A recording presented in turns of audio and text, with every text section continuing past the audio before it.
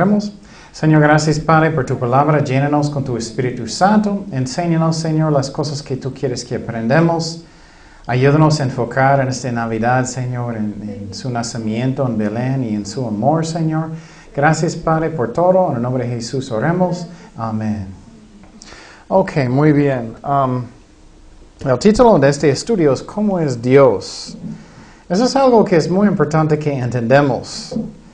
Porque... Uh, Podemos pensar que Dios solamente siempre está enojado. O podemos pensar que solamente Dios es misericordioso y puedo hacer todo lo que quiero cuando yo quiero. Y no es cierto tampoco. ¿Cómo es Dios? Tenemos que entender eso, entender eso o, o vamos a tener una relación con Él que no es correcto. Y muchos han tenido papás en sus familias que eran demasiado fuertes o o a veces demasiado débiles. Ellos dejan cualquier cosa pasa en la casa y los niños crecen así. Ellos piensan, ah, puedo hacer lo que yo quiero cuando yo quiero y ya vete si quiero hacer algo. y eso, y muchos tienen conceptos de Dios que no es correcto. Él es amor y Él es increíble, paciente. Y vamos a mirar cómo es Dios hoy. Algunos de las cosas de cómo, Él es, su personalidad. Y entonces vamos a empezar en Mateo 1, 18. El nacimiento de Jesús fue así, estando desposada María, su madre, con José antes que se juntasen. Se halló que había concebido del Espíritu Santo. Entonces miramos primeramente Uh, esa es una descripción del nacimiento de Jesucristo. Y María, ella, tenía, ella estaba prometida um, con José. Y antes que ellos tenían relaciones, ella tenía un bebé por el Espíritu Santo. María sí era una virgen cuando ella tenía Jesús. Eso es muy importante que entendamos. Después ella tenía más hijos la Biblia enseña. Y necesitamos creer lo que dice la Biblia, no el hombre. Um, pero primeramente podemos mirar que de cómo es Dios, Él primeramente es humilde, es humilde. Y muchas veces no fijamos eso, no pensamos eso mucho o suficiente. A mí me gusta meditar. ¿Qué es meditar para un cristiano? Es pensar, es aplicar a mi vida. No es om como los de budismo o, oración contemplativo que muchos están haciendo en las iglesias hoy en día que no deben. eso solamente viene de budismo o los hindus y es muy triste. Nunca debemos vaciar la mente. Nunca debemos hacer eso para que um, eh, puedo estar más um, tranquilo o, puedo ser más espiritual vaciando la mente así. No, tenemos que llenarlo con pensamientos de Dios, con la palabra de Dios, uh, con sus promesas. Pero muchas iglesias están haciendo eso hoy en día, buscando la carne. Pero miramos aquí que um, Jesús es humilde, humilde. Si tú fuera Dios, vas a estar adentro de un vientre de una mujer por nueve meses. ¿Vas a hacer eso? ¿Vas a tener humildad? ¿Vas a bajar del, cielo? Tú estabas en el cielo, en, en, su majestad, mirando relámpagos, mirando el cielo, mirando todo increíble allá. Y vas a estar de repente un bebé adentro de una mujer. Jesús es humilde, Dios es humilde, Él no es arrogante. Qué diferente el mundo, ¿no? En el mundo, ¿cómo son las personas que son muy arrogantes? En el trabajo, ah, haz eso, ay, ay, ¿qué? Oh, hiciste, oh, no puedes hacer nada, ¿y qué, haces? O ellos piensan, no, soy tan inteligente, tú no. Jesús no es así. Él es humilde.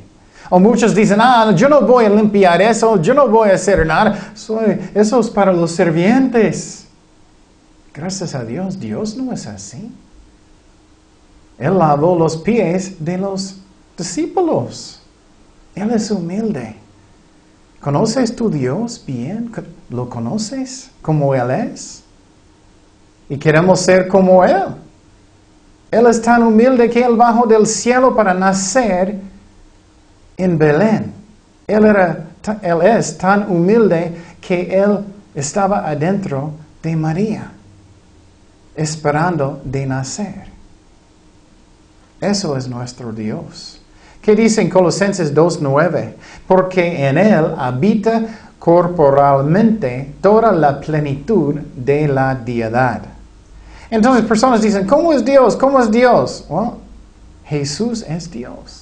Tenemos que mirar Él en los evangelios como es Dios. Tenemos que mirarlo como Él es. Él es como, solamente con los ricos, no, Él es humilde. Él solamente está con las casas grandes, no, él era humilde. Él dijo muchas veces, no tengo lugar donde acostar mi cabeza. Gracias a Dios, Él no solamente es así. ¿Cuántos de nosotros podemos?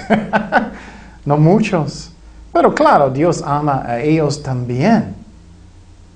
Pero Él es humilde. Y si quieres ver cómo es Jesucristo, Él es humilde. Él quiere estar contigo todo el día. Wow. Él no es, ay, no quiero estar con alma todo el día. No, gracias. No, Él quiere. Él quiere estar contigo en cada cosa que tú haces. Eso me encanta, es su amor. Él quiere estar a su lado todo el día, en su trabajo, con su familia, en sus devocionales. Él quiere eso, pero muchos no quieren. Y Dios está triste cuando personas no quieren. Y entonces Él es humilde. Ella estaba embarazada por el Espíritu Santo y ella era también obediente. A veces la vida cristiana es difícil. A veces tenemos que obedecer a Dios, no a los hombres. Puedes imaginar que ella, aunque ellos eran prometidos, ellos todavía no casaron, no, todavía no tenían relaciones. Ella podía pensar, ay, tengo que hacer una mentira que, como muchos hacen hoy. Voy a mentir para cubrir eso, para que eh, voy a escapar. Pero ella no hizo mentiras. Porque ella estaba pensando, ¿qué voy a decir? Oh, bueno, uh, es de Dios. Y personas pueden burlar de ella. Ellos acusaban a Jesucristo diciendo que, oh, tú, tú eres de la qué? De la fornicación. Y muchas veces pensamos, oh, voy a mentir para cubrir eso o cubrir eso o para que eso es más fácil. No, tenemos que obedecer a Dios. Dios no necesita mentiras. Él puede hacer su voluntad con la verdad. Él puede guiar todo. Y tenemos que buscar a Dios, no al hombre. Y podemos tener pruebas si decimos la verdad también. ¿Qué pasó con el apóstol Pablo? Él perdió todo, ¿no? Él era un fariseo, él era miembro del Sanhedrin, los gobernadores de Israel.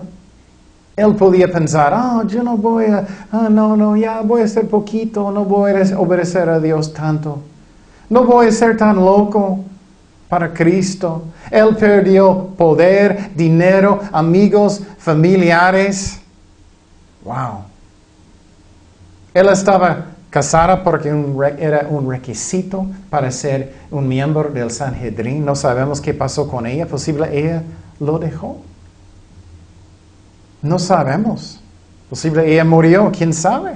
Él perdió todo, pero él ganó su salvación. Él ganó premios en el cielo porque él dio su vida sinceramente a Jesucristo. ¿Qué estás pensando en esta Navidad? Ay, los regalos. ¿Qué voy a comprar? ¿Qué voy a hacer? ¿Y qué vas a darme a mí? ¿Qué? ¿O estás diciendo cosas que no debemos? Oh, Santa Claus, Él va a bajar del chimenea, Santa Claus va a darle los regalos. Y todos los niños se están enfocando en Santa Claus en vez de Jesucristo. Eso no debemos hacer. Debemos quitar las imágenes de Santa Claus de las casas y poner de Jesucristo, eh, los um, adornos de nacimiento y eso. Tenemos que decir feliz cumpleaños Jesús y glorifica a Dios y poner a Dios primero. Pero personas van a pensar que soy raro, soy raro. A mí eso me hace muy triste. Muchos cristianos siguen haciendo eso. Yo recuerdo un día yo estaba en un restaurante y, había un chimenea en el restaurante. Yo recuerdo un niño, él tenía como cinco años, seis años. Y uh, yo conocí a su papá. Y el niño dijo, oh, eso es donde va a salir Santa Claus. Y dije muy directo, pero con amor, y dije, Santa Claus no existe. Porque decimos la verdad aquí. Con amor, Jesús dijo la verdad. Y él fue con su papá, él dijo, él dijo que Santa Claus no existe. y su papá solamente empezó de reír, porque él sabía que estaba mal. Él empezó de reír. ¿Vas a buscar a Dios como María primero? ¿Vas a buscar a Él? Él sabe lo que es lo mejor para nosotros. Dice Mateo 16, 26, porque ¿qué aprovechará el hombre si ganaré todo el mundo y perderé su alma? ¿O qué recompensa dará el hombre por su alma? Entonces, ¿qué miramos aquí? Es más importante que fijamos en el cielo. Un día vamos inmediatamente al cielo. Un día vamos a subir los cristianos verdaderos. ¡Pum! Ya vamos a subir en las nubes. ¿O qué? ¿O vas a morir un día? Y muchas veces estamos fijando tanto en este mundo. Quiero esta casa, quiero este carro, quiero este trabajo, quiero este, quiero este para cualquier cosa. Cosas del mundo. Y claro, necesitamos cuidar de nuestras familias. No estoy diciendo que no. Pero Dios necesita ser primero. ¿Qué vale si estás haciendo tanto en eso, fijando tanto en eso y boom, ya Cristo viene? Ya Cristo viene y ¿qué? todo va a quedar. Es una tontería. Pero las cosas que tú haces para Dios es para eternidad. Tu nuevo sofá no puedes llevarlo. no puedes jalarlo al cielo. Jesús, estoy subiendo el rapto y tengo mi sofá en un mano. ¿Qué puedo traerlo? no.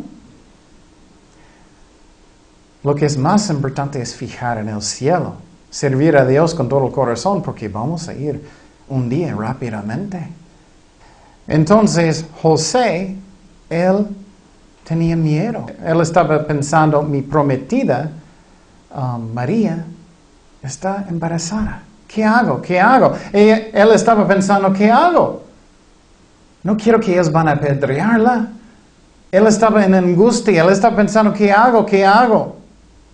Ella no fornicó, él estaba pensando, no quiero que ellos van a matarla. Y estamos hablando, ¿cómo es Jesús con nosotros, con tú y yo? ¿Cómo es Jesús con nosotros? Dios nació en Belén. Podemos saber cómo es Él. Y un ejemplo en la Biblia que me gusta mucho es el ejemplo de la mujer que estaba en adulterio. ¿Qué pasó en esta historia? Los fariseos estaban jalando ella. Jalando ella. Ella, estoy seguro que ella estaba gritando. Ella estaba pensando, oye, qué vergüenza. Ellos miraron ella en el acto de fornicar. Eh, estaba jalando ella en frente de todos en Jerusalén, en frente de Jesucristo, en frente de todos. Y los fariseos dijeron, la ley dice que debes apedrearla. ¿Qué dices tú? Era una trampa. Ellos querían hacer una trampa para Jesucristo, lo que Él va a hacer. Ellos siguieron acusando a ella y Jesús también. Él no dijo nada. No dijo nada. Él tranquilamente solamente uh, puso en sus rodillas y él empezó a escribir en la tierra. ¿Y qué pasó? Los fariseos eran convencidos en sus conciencias. ¿Qué es la razón? Porque parece que él estaba escribiendo sus pecados. Eso puede pasar con tú y yo. Puedes imaginar que estás allá, que él va a escribir en la tierra. Uy, ay, ay. ¿Quién le va a escribir de ti? Vas a sentir en su conciencia. Oh, oh, debo irme.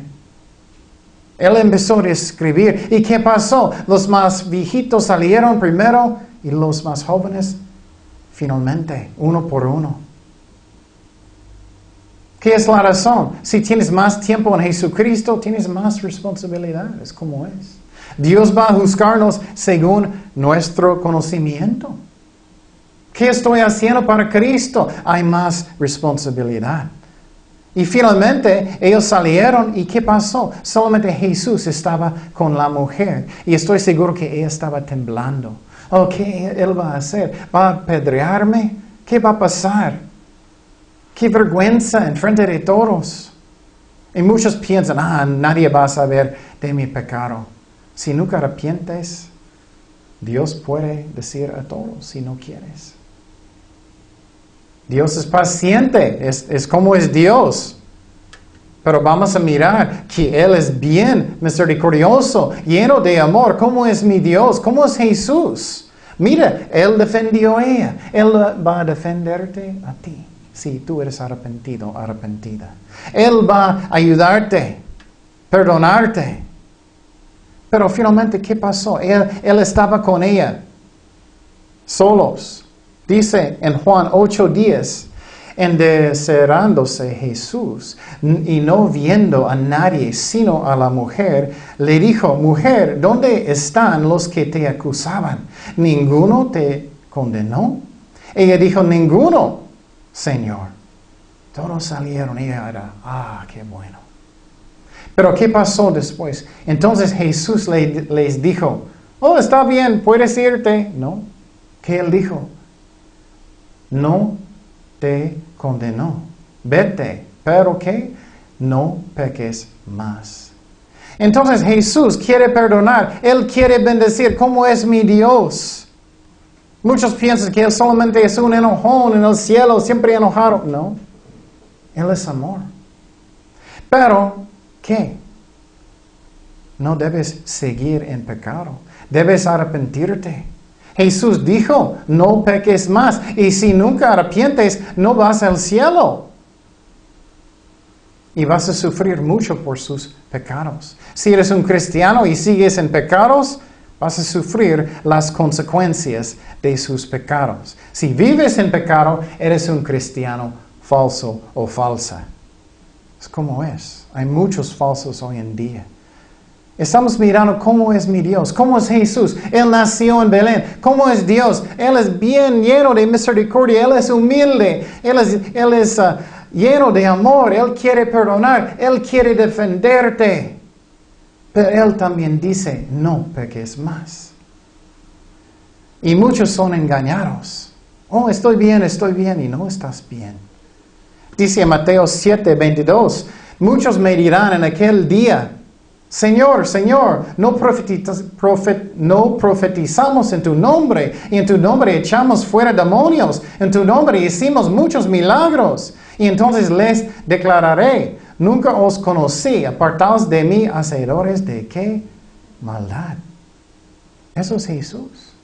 Jesús está lleno de amor. Jesús quiere perdonar. Él es lleno de misericordia. Él es lleno de paciencia. Pero hasta que finalmente, si tú eres tan duro del corazón, no vas al cielo, o si eres un cristiano pecando demasiado, Él va a darte una nalgada porque Él te ama, o vas a sufrir las consecuencias de sus pecados. Jesús necesita ser mi Señor. Y cuando personas dicen Señor, eso no significa su nombre. Su nombre no es Señor. Su nombre es qué? Jesús. Pero Señor significa que mi dueño, mi jefe. Muchos obedecen a su jefe en su trabajo mucho más que Dios. Oh, ellos van a correrme si no voy a obedecer. Y Dios, ah, no importa, no importa. Él es su Señor, sinceramente. ¿Vives para Él cada día? Romanos 19 dice, que si confesares con tu boca que Jesús es el que Señor y creeres en tu corazón que Dios le levantó de los muertos, serás salvo. Señor, Él debe ser su Señor, porque con el corazón se cree para justicia, pero con la boca se confiesa para qué salvación. Estamos mirando cómo es mi Dios. Nació en Belén, estamos celebrando su cumpleaños, Navidad.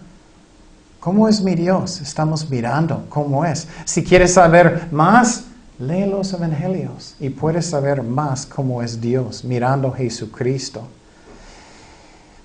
¿Y qué pasó? José estaba en angustia. ¿Qué hago? ¿Qué hago? Voy, voy a, esconderla, voy a divorciarla. Porque en estos tiempos los prometidos tenían que divorciar. Dice Mateo 1:20, y pensando él en esto, he aquí un ángel del Señor le apareció en sueños y le dijo, José, hijo de David, no, no temas recibir a María tu mujer, porque lo que es en ella es engendrado del Espíritu Santo es. Es tan bonito cuando matrimonio es de Dios, cuando los hijos son de Dios. Pero tan triste hoy en día, tantos tienen hijos fuera de matrimonio. Muchos dicen que somos casados y ellos no son casados. Ellos tienen hijos fuera de matrimonio y los hijos sufren y ellos sufren. Dios nos ama y Él puede perdonarnos, pero necesitamos arrepentirnos. Y María, ella no tenía un hijo fuera de matrimonio, era del Espíritu Santo. Y José estaba orando mucho. ¿Y qué pasó? Dios dijo, oh, puedes casar con ella porque no es fornicar, no es. Y muchos dicen, oh, pero somos casados, es mi esposa, mi esposa, y no es. No importa sus sentimientos. Pero ¿qué más miramos en este pasaje cuando Dios mandó un ángel para hablar con José? Miramos que Jesús quiere que ayudarte. ¿Cómo es mi Dios? ¿Cómo es Jesucristo? Él quiere ayudarme con mis problemas. Él quiere bendecirme. Es su corazón. Él quiere guiarme en mi vida. Eso me encanta, una promesa que yo uso constantemente. Proverbios 3, 5 y 6. Fíjate de Jehová de todo tu corazón y no te apoyes en tu propia prudencia. Reconócelo en todos tus caminos y Él endecerá tus veredas. Ten fe en esta promesa y Dios va a guiarte en todo, pero tenemos que obedecer a Dios. Tenemos que obedecerlo. Y seguimos en esta historia de nacimiento de Jesús.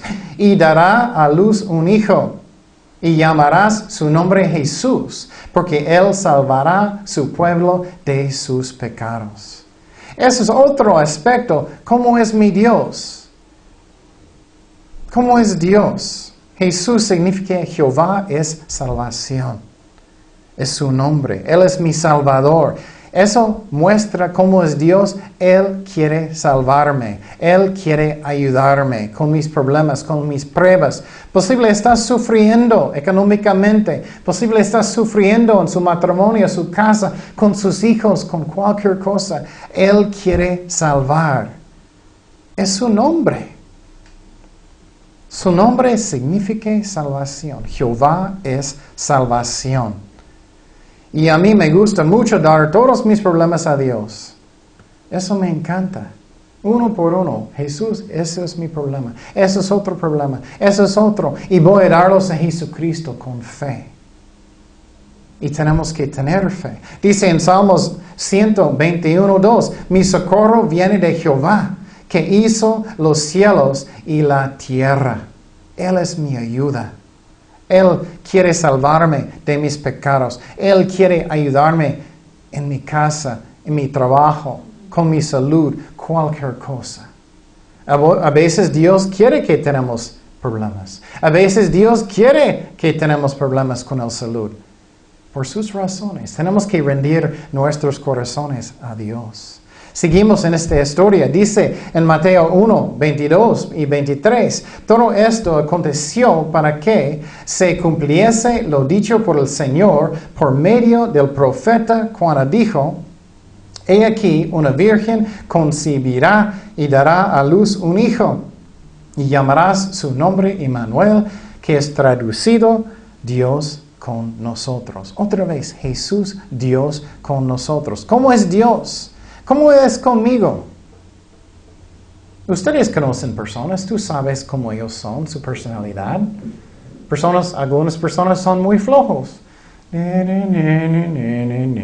estoy mirando a nadie. Siempre personas piensan que estoy hablando directamente con ellos. si Dios te habla, es otra cosa. No estoy haciendo eso.